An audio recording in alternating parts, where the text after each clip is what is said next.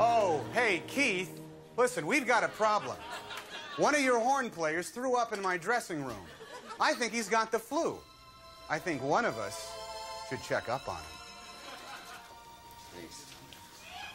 Please.